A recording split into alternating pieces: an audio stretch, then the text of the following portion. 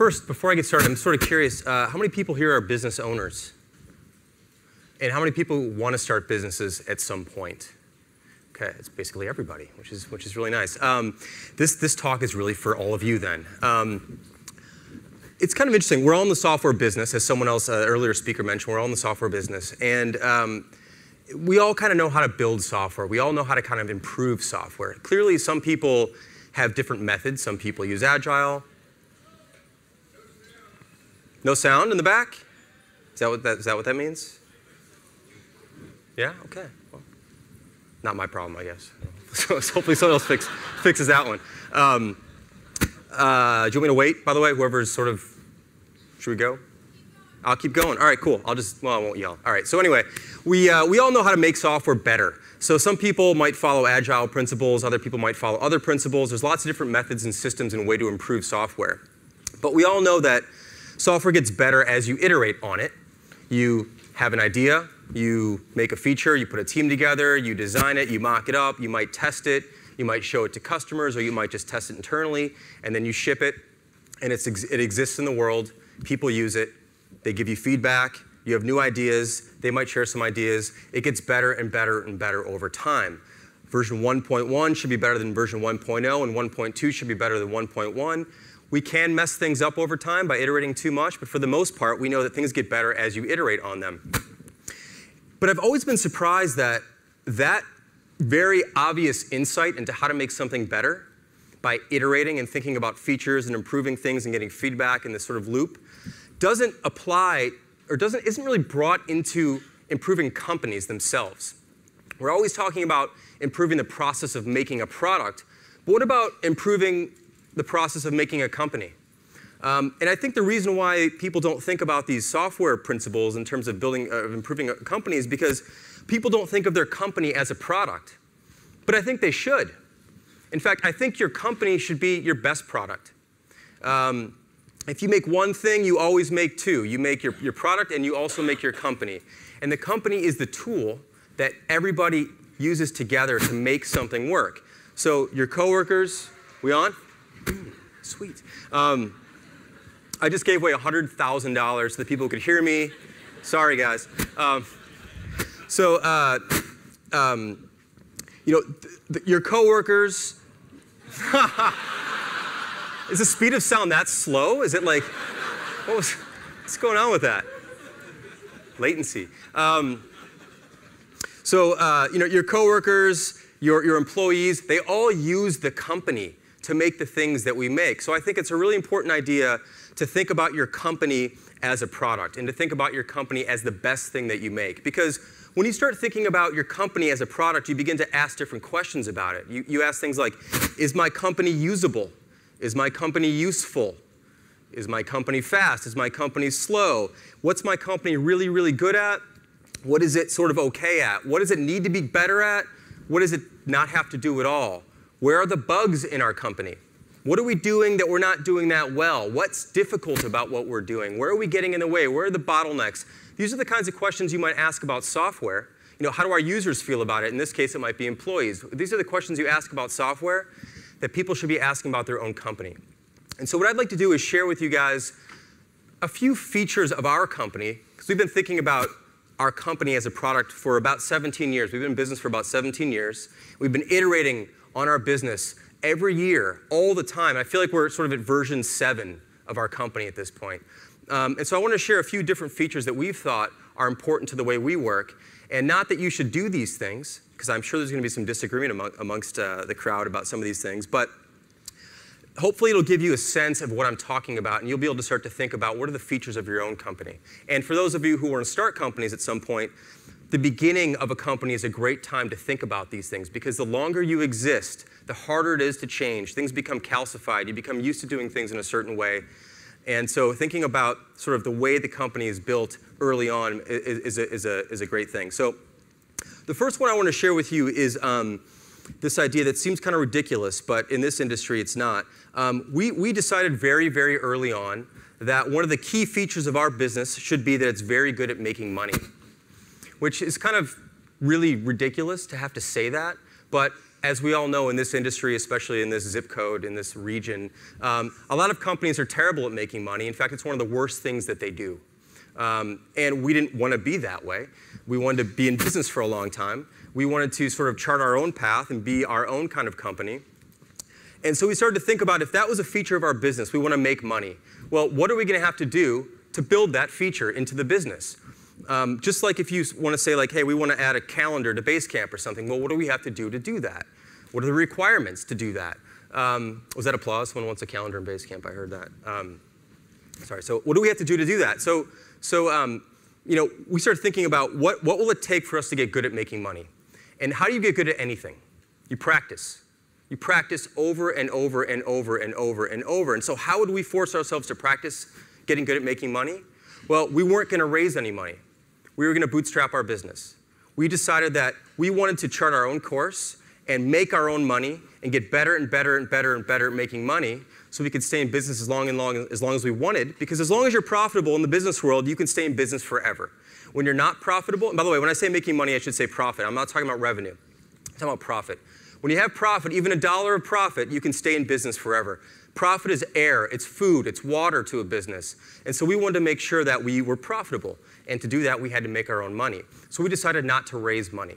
And this is a fundamental decision that we made early on that has a huge impact on how we work. Because a lot of companies that go out there and raise money, what they're really doing is they're practicing getting good at spending money. This is what happens when you have a lot of money in the bank, you practice spending it. And as you probably know, most companies that raise money go off and raise more money because they've spent the other money we, a lot of companies get used to spending and spending and spending and spending, and then one day they think they can pull the make money lever, but that doesn't really work that well. Just like if one day you decided that you want to play guitar on stage, like right now, if I got a guitar, I suck at guitar. If I got a guitar right now and started to play guitar, I would suck because I hadn't practiced it. You have to practice for a long time. So this idea that one day you can just pull the lever and be a money-making, or sorry, a profitable business, I just don't buy that in most cases. And we're seeing a lot of evidence that that's not true. So thinking about um, do you want to make, get good at making money or do you want to get good at spending money is a really fundamental thing to, to keep in mind and a feature that we decided early on in our business was important to us. Um, another feature in our business that we decided was really important to us is that we felt like our business should be able to work at the highest possible level of quality um, with only 40 hours per week per person. So I'm sort of curious before I go on, I'm curious, how many people here work more than 40 hours a week? Right. More than 60 hours a week. Right. So, do you like that? Because I think that's kind of crazy. Um, I think 40 hours is plenty of time to do great work. But you have to do things to make sure that that's possible.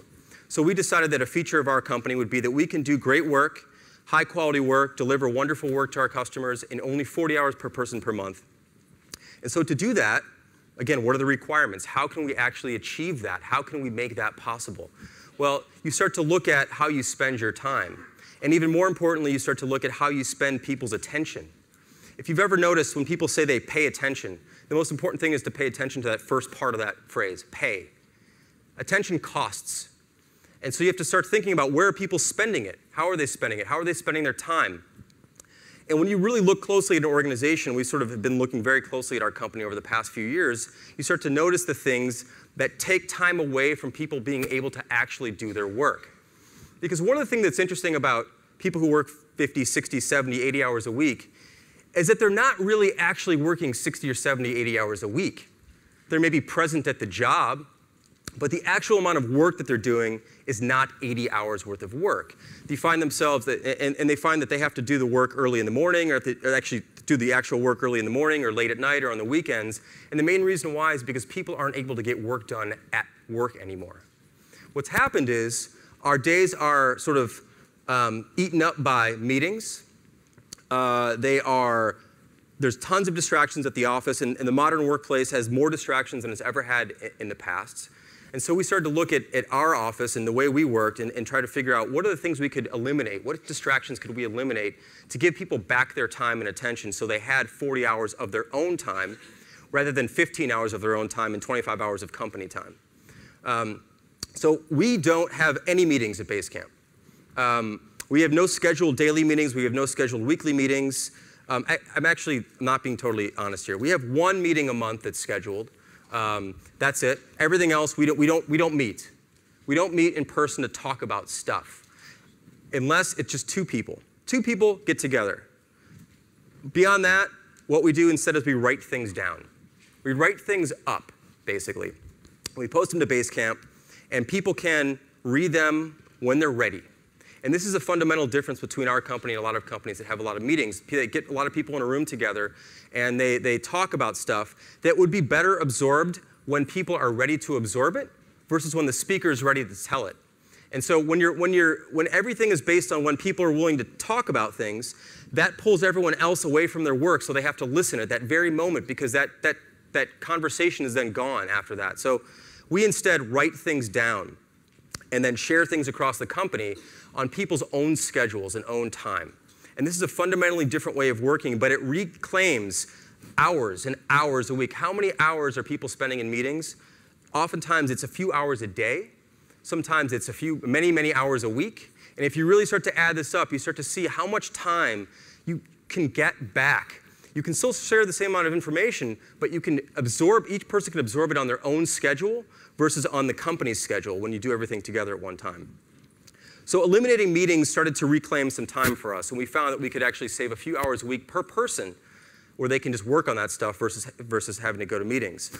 Um, the other thing we realized is that in a physical space, um, there are a lot of distractions. Noise primarily is a major distraction in, in, in office spaces, um, which is why you see a lot of people wearing headphones all the time. It's not necessarily that they're, they're music fans, although they might be, but they're really trying to drown out other things that are going on. They're basically saying, leave me alone. I have work to do, right? And so we started thinking about how can we eliminate physical distractions in our office? Um, and what we decided was we were going to add a feature to our business, which we call library rules. The idea is that you can walk into any library around the world, anywhere, and um, people know how to behave. It's quiet.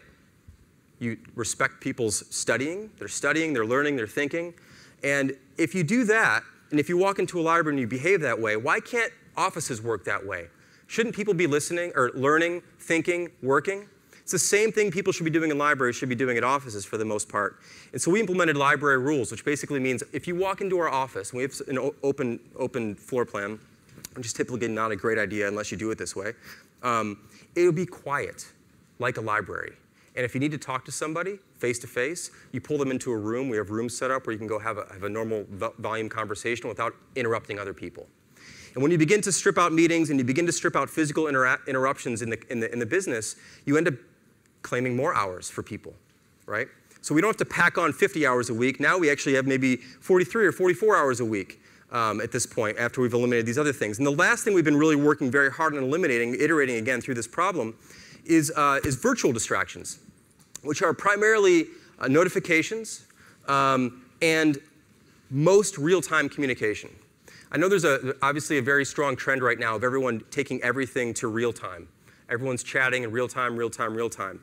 Um, if you really step back and, and look at the things that are being discussed in real time, most of those things have nothing to do with right now. They'd be better written up and then absorbed later when people are ready versus being pulled aside, pulled away from what you're doing to have to listen to what someone is saying right now when now has nothing to do with it. You'll see that um, probably many people in this room have a chat room of ch- or chat app of some sort open with a bunch of unreads, and you're going back and forth and back and forth and back and forth and back and forth all day. This is incredibly distracting.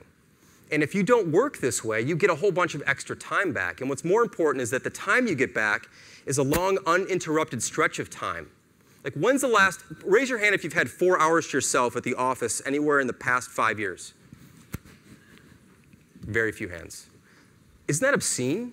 Isn't that ridiculous that you go to work and you don't have four hours to yourself to work? That you're constantly pulled away from your work by all sorts of things that have nothing to do with you right at this very moment. Very few things really need to be discussed right now. And um, so we've been working very hard on, uh, we use real-time communication for all the fun social stuff, but nothing important in our company happens in chat rooms.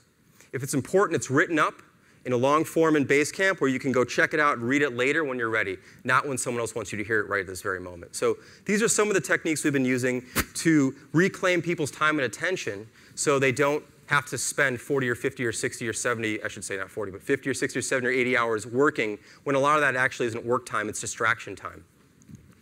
And the last, the last feature I want to talk about really quickly, about a minute here, is um, remote working. So we decided that we want to be able to hire the best people we possibly can in the world. Now, a lot of companies say this. Of course, every company says they want to have the best people in the world. But what they really mean is we, they want to have the best people in their neighborhood. Because a lot of companies restrict their hiring to within a 30 mile radius of where their home office is, where their headquarters are. And we decided that that's not the best way to find the best people in the world. The best people in the world are all over the place. The chance that they're within a 30 mile radius of your office is pretty, pretty rare. Some of them are, but many of them are not. And so one of our best programmers lives outside of Phoenix, and another one of our best designers lives outside of Oklahoma. One of our best customer service people lives in a farm, a fifth generation farm in Tennessee. We have another employee who's a wonderful programmer who lives outside of uh, Toronto on a big rural stretch of land. We hire anywhere, anybody, doesn't matter what their role is. My business partner and I barely see each other. He lives in Malibu half the year and Spain the other half of the year. I live in Chicago.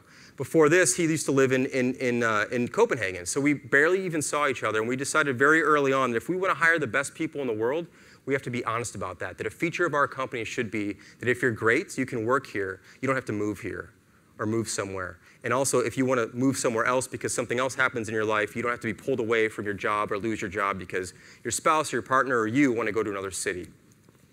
So these are some quick examples of some of the features that we've built into our company that we're constantly iterating on to figure out how we can work better.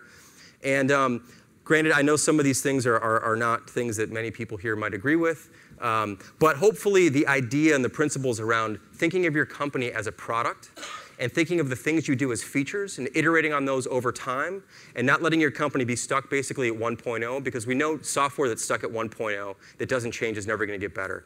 So a lot of companies out there are stuck at 1.0 and they don't constantly iterate on improving on, on how they work. So I hope this was useful at some level, even if you disagree with some of the tactics. Hopefully you can find some that work for you, and uh, thank you very much for listening.